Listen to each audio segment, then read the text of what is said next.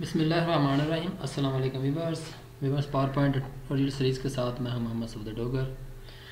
Viewers آج کی video کے اندر ہم تھیمز کے بارے میں پڑھیں گے کہ پاور پوائنٹ کے اندر تھیمز کو کیسے یوز کرتے ہیں، تھیم کو کیسے ہم ڈیزائن کرتے ہیں یا پاور پوائنٹ کے اندر تھیم کا کیا رول ہوتا ہے۔ تو سٹارٹ کرتے ہیں ویورس جیسے ہمارے پاس یہ ایک سلائڈس ہے اس کے اندر مختلف دیکھیں، یہاں پہ آپ کو سلائڈز نظر آ رہی ہیں۔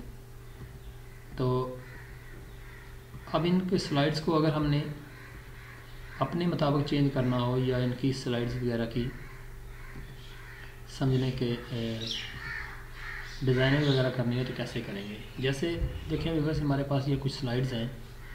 تو یہاں پہ ڈیزائن پہ جائیں گے۔ تو ڈیزائن میں جا کے دیکھیں، یہ مختلف سلائڈس کی جو ہے نا ڈیزائن پڑے ہوئے ہیں۔ یہاں پہ کلک کرتا ہوں تو یہ دیکھیں سلائڈ جو ہے نا یہ دیکھیں، یہاں پہ کلک کرتے ہیں تو یہ سلائڈ اس طرح یعنی کہ آپ کا بیہیو چینج کرتی ہے۔ اس پہ کلک کرتے ہیں تو یہ دیکھیں۔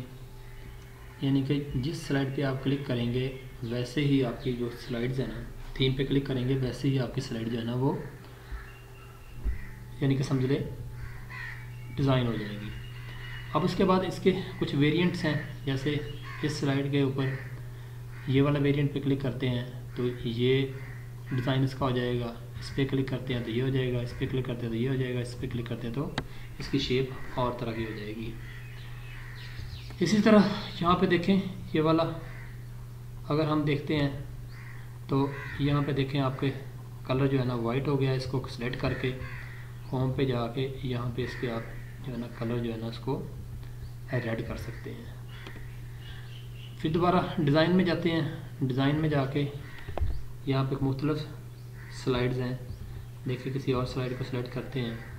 اس سلائڈ کے اوپر جا کے اگر ہم تھیم کو چینج کرتے ہیں، یہ دیکھیں۔ تو دیکھیں آپ کی سلائڈ جو ہے نا، کیسے چینج ہو رہی ہے۔ ساتھ میں اس کا ٹیکسٹ بھی ہے نا، وہ ساتھ ساتھ کیسے چینج ہو رہا ہے۔ اور یہاں پہ دیکھیں، اس کی ویریئنٹ پہ جا کے یہ والا کرتے ہیں، تو یہ اس کی سلائڈنگ ہو جائے گی۔ اس پہ کلک کرتے ہیں تو یہ دیکھیں بیک گراؤنڈ پہ۔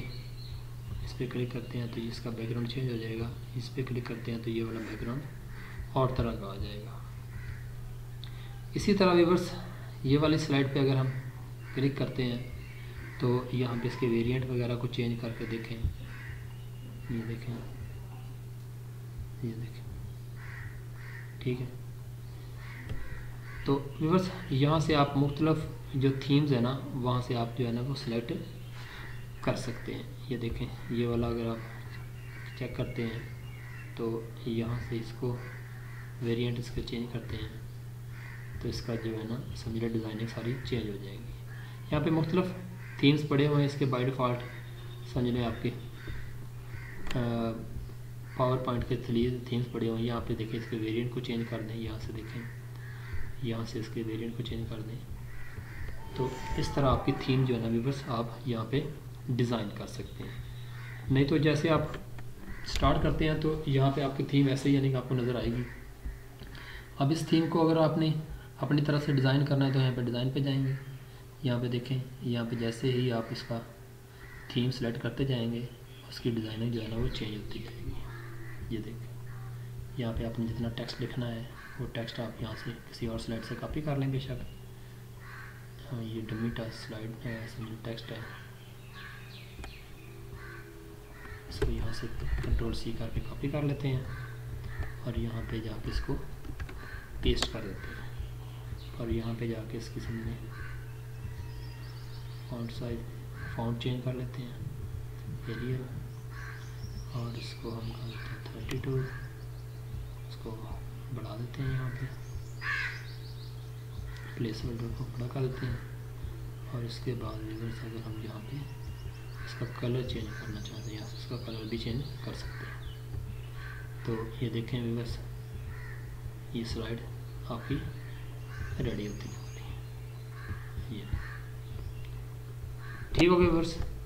تو یہ ہوتا ہے ویورس، آپ نے اپنی سلائڈس کے اوپر یا پریزنٹیشن کے اوپر تھیم کو کیسے انسرٹ کرتے ہیں یا ڈیزائن کرتے ہیں۔ تو امید ہے کہ آج کے لیکچر کی سمجھ آ گئی ہوگی۔ میرے لیے ویڈیو دیکھنے کا شکریہ۔ تو نیکسٹ لیکچر تک بائے اوکے اللہ